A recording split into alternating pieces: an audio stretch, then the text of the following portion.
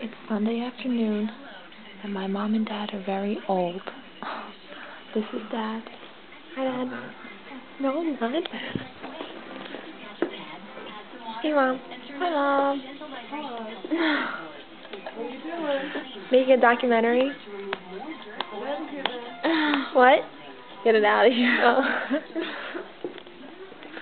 Do you have any antacid uh, pi- uh, pills, Pepto-Bismol or? I'll go look. Well, do you know where?